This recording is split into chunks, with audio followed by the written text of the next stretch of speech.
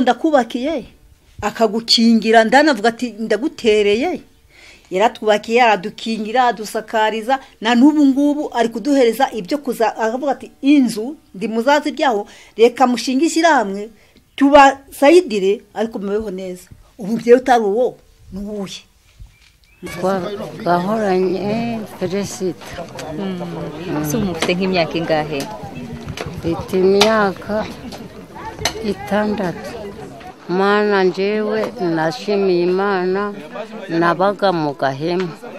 Noneho ako gahema nagahabwaga na karitasi imvura yagwa noneho nyine nkitwikira intara namara kwitwikira intara nuko yamara guhita ngaserera ago mazi.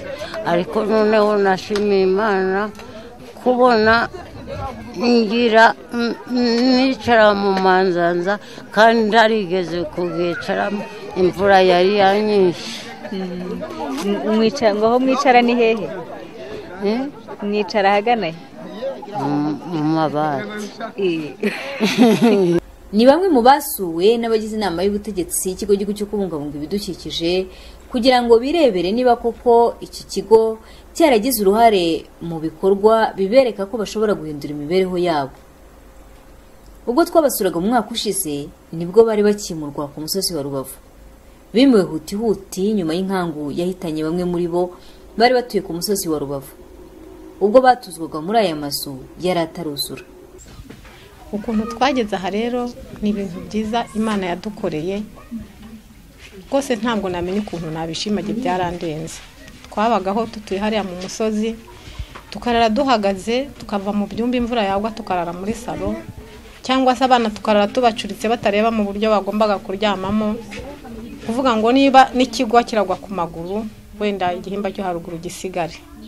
Inkangu zikamanuka igikingo cyakwikubitaho ku buryo nigeze no kujya mu bitaro umukingo wangwiyeho maramo ukwezi.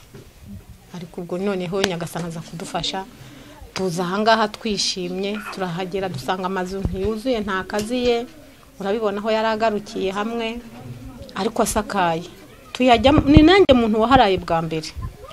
Abatishoboye muri uyu mudugudu biganjemo abapfakazi byabaye ngombwa ko bubakirwa amazu kuko nta bushobozi bari bafite bwo kwiyubakira ayabo ku bijyanye n'uruhare rwa rema rema yadufashije kubona cyane cyane isakaro ndetse ku buryo bw'umwihariko inatwubakira amazu makumyabiri y'abatishoboye kurusha abandi inadufasha no mu bikorwa byo gutuza hano kuko niyo yatwereje abatekinisiye badufashije muri ibi bikorwa kugira ngo abaturage bubake neza kandi bature neza.